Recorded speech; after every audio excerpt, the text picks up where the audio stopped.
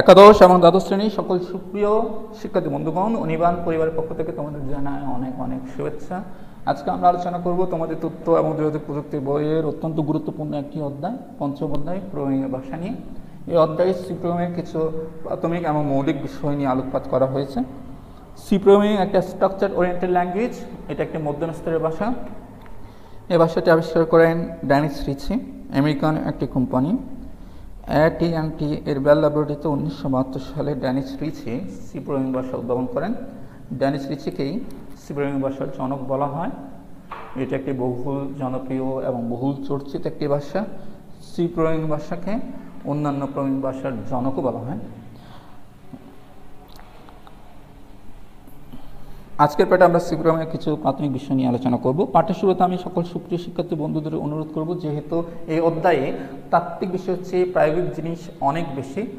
তাই আমি বলব, এই অধ্যায়ের জিনিসগুলো শুধুমাত্র খাতা কলমে অনুশীলন না করে যদি ব্যবহারিকভাবে অনুশীলন করা যায়, তাহলে এই অধ্যায়ের বিষয়গুলো অনুধাবন করা অনেক বেশি সহজতর হবে। সেক্ষেত্রে যে সকল শিক্ষার্থী বন্ধুদের বাসায় কম্পিউটার বা ল্যাপটপ আছে, তাদের আমি অনুরোধ করব, তোমরা ইন্টারনেট থেকে গুড ব্লক নামে একটা ফ্রি সফটওয়্যার আছে এটি ডাউনলোড করে তোমাদের কম্পিউটারে ইনস্টল করে নাও। আর যাদের বাসায় কম্পিউটার বা ল্যাপটপ নেই, তারা তোমাদের অ্যান্ড্রয়েড মোবাইলের প্লে স্টোর থেকে সি এক্স এক্স ব্রয়েড নামে একটি অ্যাপ্লিকেশন ডাউনলোড করে নিতে পারো। আমি দুটি সফটওয়্যারের ডাউনলোড লিঙ্ক আমাদের ডেসক্রিপশন বক্সে দিয়ে দিব। তোমরা ওখান থেকে সফটওয়্যারগুলো ডাউনলোড করে নিতে পারো। তাহলে আজকে পাঠটি শুরু করে যাক। পাঠের শুরুতে যেটি মনে রাখতে হবে, প্রতিটি সি প্রোগ্রামে অবশ্যই মেইন নামে একটি মূল ফাংশন থাকবে। আমাদের সি প্রোগ্রামের যাবতীয় স্টেটমেন্ট আমরা অবশ্যই এই মেইন ফাংশনের অধীনেই লিপিবদ্ধ করব। তো মেইন ফাংশনটা আমরা কীভাবে লিখেছি? সুপ্রিয় শিক্ষার্থীবৃন্দ, একটি খেয়াল করো। আমরা প্রথমে ফাংশনের নাম লিখলাম। Main M A I N এখানে ফাংশনের নাম মেনই লিখতে হবে, অন্য কোনো নাম দিলে হবে না, এবং এটি ছোটো হাতের, অর্থাৎ ওয়ার্ড কেস লেটার দিয়েই লিখতে হবে। তো আমরা প্রথমে ফাংশনের নাম দিলাম মেন এরপর দেখা যাচ্ছে এক জোড়া বন্ধনী আছে। এই বন্ধনী মাঝখানে চাইলে আমরা ফাংশনের বিভিন্ন আর্গুমেন্ট বা প্যারামিটার দিয়ে দিতে পারি, কিন্তু আমরা এখানে খালি রাখছি। এরপর দেখা যাচ্ছে একটা কার্লি ব্যাকেট এই কার্লি ব্যাকেটের মাধ্যমে বোঝানো হচ্ছে এখান থেকে মেন ফাংশনটা শুরু হচ্ছে, এবং কিছু দূর গিয়ে এই কার্লি ব্যাকেটটা ক্লোজ করা হয়েছে। এই কার্লি ব্যাকেটের মাধ্যমে বোঝানো হচ্ছে, এখানে মেন ফাংশনটা শেষ হচ্ছে। এই দুই কার্লি ব্যাকেটের মাঝখানে আমাদের যাবতীয় স্টেটমেন্ট আমরা এখানে লিপিবদ্ধ করব। মেইন যেহেতু একটা ফাংশন এটা একটি ডাটা রিটার্ন করবে। তো আমরা চাইলে এই ফাংশনটা কোন ধরনের ডাটা আমাদের রিটার্ন করবে, সেই ডাটা টাইপটা আমরা বলে দিতে পারি। এখানে আমরা মেনে আগে লিখে দিতে পারি আই অ্যান্ড টি এটা অবশ্য হচ্ছে, এটি না দিলেও হয়। আইনটির মাধ্যমে আমরা ডাটা টাইপটা এখানে বলে দিলাম। এই ডাটা টাইপ নিয়ে আমরা পরে আরও বিশদ আলোচনা করব। তবে এখানে মনে রাখতে হবে, যদি আমরা মেনের আগে এভাবে আই এন টি ডাটা বলে দিই, তাহলে ফাংশন মেন ফাংশনের একদম শেষ লাইনে গিয়ে আমাদের লিখে দিতে হয় R E T U R N return zero এই লাইনটা এই স্টেটমেন্টটা আমাদের লিখে দিতে হয় রিটার্ন জিরো এই জিনিসটা অবশ্যই তোমরা মনে রাখবে, আমরা যদি মেইনের আগে যদি আই অ্যান্ড টি ডাটা টাইপটা বলে দিই, তাহলে আমাদের অবশ্যই মেইনের শেষে গিয়ে রিটার্ন জিরো এই স্টেটমেন্টটা লিখে দিতে হবে। এখানে রিটার্ন জিরো একটা স্টেটমেন্ট এখানে একটা বিষয় খেয়াল করো। আমরা রিটার্ন জিরো যখন লিখলাম, এর শেষে কিন্তু আমরা সেমিকোলন দিয়েছি। এটা কিন্তু খুব গুরুত্বপূর্ণ। সি প্রোগ্রামে প্রতিটি স্টেটমেন্টের শেষে অবশ্যই অবশ্যই সেমিকোলন ব্যবহার করতে হবে। এই সেমিকোলনটা সি প্রোগ্রামিং স্টেটমেন্ট টার্মিনেটর হিসাবে কাজ করে। যদি আমরা সেমিকোলন না দিই, তাহলে আমাদের প্রোগ্রামটা রান করবে না ইরোড দেখাবে। আমরা যখন ইংরেজিতে কখন কোনো সেন্টেন্স লিখে সেন্টেন্স শেষে আমরা ফুল স্টপ বসি এই ফুল স্টপ দিয়ে আমরা বুঝতে পারি এখানে এই সেন্টেন্সের সমাপ্তি হয়েছে। একইভাবে আমরা যখন সি প্রোগ্রামের কোনো স্টেটমেন্ট লিখি, প্রতিটি স্টেটমেন্টের শেষে আমাদের সেমিকোলন দিতে হয়। এই সেমিকোলন থাকলে আমাদের কম্পাইলার বুঝে যায় এখানে একটি স্টেটমেন্ট সমাপ্ত হয়েছে। এখন আমরা আমাদের প্রোগ্রামে আরেকটা নতুন স্টেটমেন্ট যুক্ত করার চেষ্টা করি। আমরা এই স্টেটমেন্টে প্রিন্ট অ্যাপ নামে একটি ফাংশন আমরা ব্যবহার করছি। সি প্রোগ্রামে দুই ধরনের ফাংশন ব্যবহার করা হয়। কিছু কিছু ফাংশন আমরা নিজেরাই তৈরি করে ব্যবহার করতে পারি, যেগুলোকে বলা হয় ইউজার ডিফাইন্ড ফাংশন অথবা কিছু কিছু ফাংশন আগে থেকে তৈরি করে রাখা হয়েছে, যেগুলোকে বলা হয় লাইব্রেরি ফাংশন আমরা এগুলো আমাদের প্রোগ্রামে আমরা ব্যবহার করতে পারি। এখানে যেটি লক্ষণীয় যে প্রিন্ট অ্যাপ ফাংশন একটি লাইব্রেরি ফাংশন অর্থাৎ এটা আগে থেকে তৈরি করে রাখা একটি ফাংশন এই ফাংশনটা আমরা আমাদের প্রোগ্রামে ব্যবহার করছি। কিন্তু এখানে একটা বিষয় গুরুত্বপূর্ণ। এই প্রিন্ট অ্যাপ ফাংশনটা যদি আমরা আমাদের প্রোগ্রামে ব্যবহার করতে চাই, তাহলে আমাদের আরেকটা কাজ করতে হবে। আমরা বলেছি যে প্রিন্ট ফাংশনটা আমরা নিজেরা তৈরি করে নিই, তার মানে এটা একটা ইউজার ডিফারেন্ট ফাংশন না, এটা একটা লাইব্রেরি ফাংশন এখন আমি যদি কোনো একটা লাইব্রেরি ফাংশন আমরা ব্যবহার করতে চাই, তাহলে আমাকে ওই লাইব্রেরি ফাংশনটা যে হেডার ফাইলের অন্তর্ভুক্ত, সে হেডার ফাইলটি আমাদের প্রোগ্রামে ইনক্লুড করতে হবে। সেজন্য আমরা একদম আমাদের প্রোগ্রামের শুরুতে চলে যাব। ওখানে আমরা শুরুতে আমরা লিখব হ্যাশট্যাগ দিয়ে প্রথমে আমরা লিখব ইনক্লুড আমরা ইনক্লুড লেখার পর আমরা অ্যাঙ্গুলার ব্র্যাকেট দিব। অ্যাঙ্গুলার ব্র্যাকেট দিয়ে আমরা এখন যে হেডার ফাইলটা আমরা ইনক্লুড করতে চাচ্ছি সেই হেডার ফাইলের নামটা আমরা এখানে দিয়ে দিব। আমরা এখানে যেহেতু প্রিন্ট ফাংশনটা ব্যবহার করছি, এই প্রিন্ট ফাংশনটা S IO dot H header ফাইলের অন্তর্ভুক্ত, তাই আমরা ওই হেডার ফাইলটাই আমাদের প্রোগ্রামে অন্তর্ভুক্ত করছি। আমরা লিখছি S T D S T D মানে হচ্ছে standard IO standard input and output dot H প্রতিটা হেডার ফাইলের এক্সটেনশন হয় ডট এইচ তো আমরা যেহেতু প্রিন্ট ফাংশনটা ব্যবহার করছি, তাই আমাদের শুরুতে আমরা এই প্রিন্ট ফাংশনটি যে হেডার ফাইল অন্তর্ভুক্ত, সেই হেডার ফাইলটি আমাদের প্রোগ্রামে অন্তর্ভুক্ত করে ফেললাম।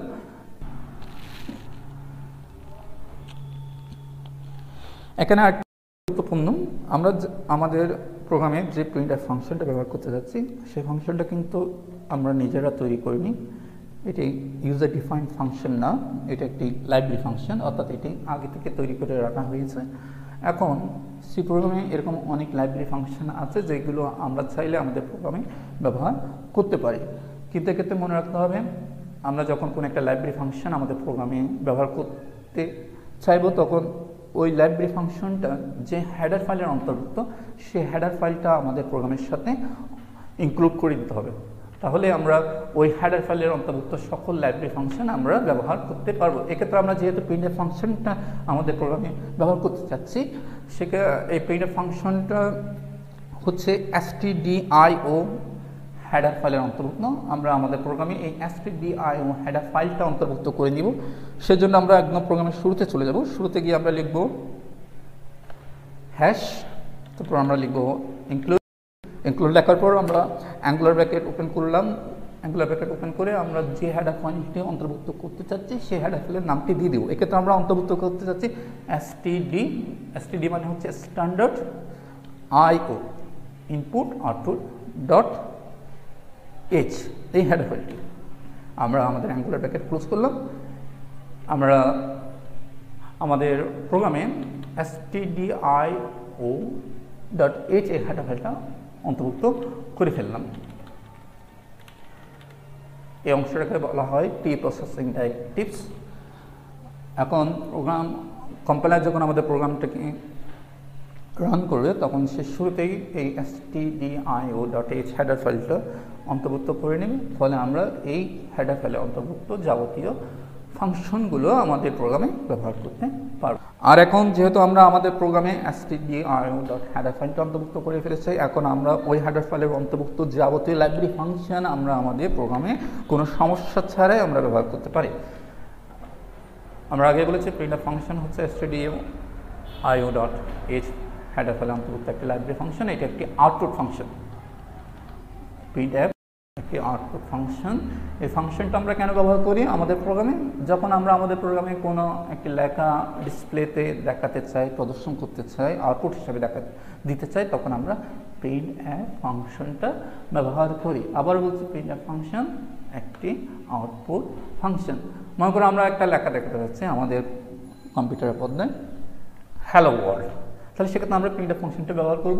কীভাবে ব্যবহার করছি? প্রিন্ট আপ ফাংশন লিখলাম ফাংশনের নাম লিখলাম। এখানে ব্র্যাকেটের ভিতরে আমরা এখন আর্গুমেন্টটা লিখব। প্রথমে আমাদের কোটেশন মার্ক দিলাম। এই কোটেশন মার্কের ভিতরে আমরা যে লেখাটা দেখাতে যাচ্ছি, সেই লেখাটা আমরা লিখে দেবো। মনে করেন আমরা লিখলাম লিখলাম হ্যালো ওয়ার্ল্ড হ্যালো ওয়ার্ল্ড এখন আমরা যদি আমাদের প্রোগ্রামটিকে রান করি, তাহলে আমাদের পদ্মায় হ্যালো ওয়ার্ল্ড লেখাটি প্রদর্শিত হয়। দেখে আমরা আমাদের প্রোগ্রামটিকে রান করে দেখি। হ্যালো ওয়ার্ল্ড লেখাটা প্রদর্শিত হয় কিনা? আমরা আমাদের প্রোগ্রামটিকে রান করছি। দেখি আমাদের। হ্যাঁ দেখো বন্ধুরা, আমাদের প্রোগ্রামে কিন্তু হ্যালো ওয়ার্ল্ড আমাদেরটা দেখাচ্ছে কেন? আমাদের কনসোলে হ্যালো ওয়ার্ল্ড লেখাটা এখন প্রদর্শিত হচ্ছে। তার মানে আমাদের প্রথম সি প্রোগ্রামটি আমরা সফলভাবে লিপিবদ্ধ করতে সক্ষম হয়েছে।